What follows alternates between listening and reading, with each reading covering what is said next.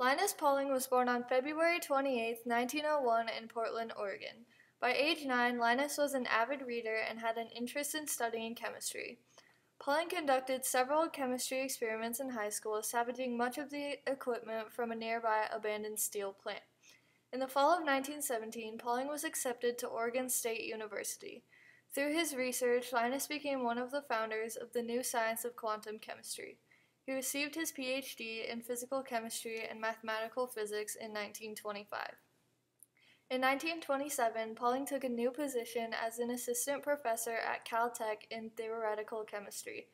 He introduced the concept of electronegativity in 1932. He established a scale which associated a numerical value for most of the elements, the Pauling electronegativity scale, which is useful in predicting the nature of bonds between atoms and molecules. This, this scale is still used today. In the mid 1930s, Linus decided to redirect his efforts into a new area of interest molecular biology. Pauling began researching the structures of organic molecules instead of inorganic molecules. Before the 1950s, scientists were unclear if the origin of life's building blocks were in DNA or the cell's proteins. The majority of the scientists believed that the building blocks were located in proteins, since proteins contain 20 amino acids and DNA only contained four. As a result, most of the research was conducted on proteins and their shape. Linus discovered many important protein structures during this time, but he is most famous for discovering the alpha helix. This is a repetitive structure seen in several different protein structures, including hair and muscle fibers. In the summer of 1952, scientists finally determined that the cell's building blocks came not from protein, but from DNA. This sparked a mad rush to determine the structure for DNA. At the time, Linus Pauling was the world's leading structural chemist and was the odds favorite to find the structure of DNA. In the fall of 1952, Linus went to several conferences, including a conference by Robley Williams, a Berkeley professor who used an electron microscope and took one of the first pictures of DNA. From this picture, Linus Pauling determined that DNA was likely a helical structure. Linus knew that DNA was made from four amino acids, ribose sugar, and phosphate. Pauling decided to build the helical structure with the phosphates in the center of the helical core, with the bases pointing outwards.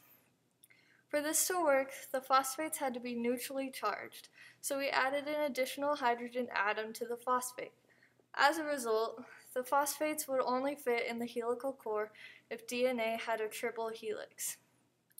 Linus Pauling was convinced he had figured out the structure of DNA in less than a week, but his assistant thought differently. Pauling's assistant, Robert Corey, was a very meticulous scientist. He made detailed calculations of the proposed atomic positions of the phosphates located in the core of Pauling's triple helix. According to the calculations, the phosphates could not fit without breaking their molecular bonds. Linus decided to ignore these findings and focus on making everything fit in the triple helix first, and then work on the details later. Linus Pauling finished his paper on the triple helix in January 1953 and sent his paper to his son Peter Pauling, who at the time was a student at Cambridge. Linus asked that he take the paper to be reviewed by another team who was looking into the structure of DNA, James Watson and Francis Crick.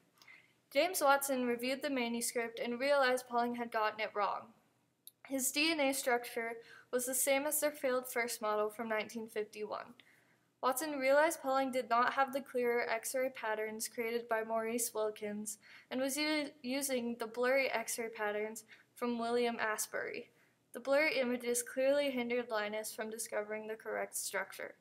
Watson also knew that the phosphates had to be negatively charged at the pH of a normal cell, and they could never be packed that close into the core of the triple helix.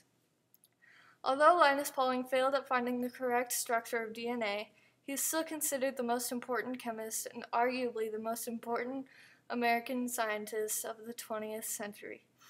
Both Watson and Crick admitted that Linus Pauling was a role model, and they used his research methods, model building, chemical knowledge, and modern physics in their work on DNA.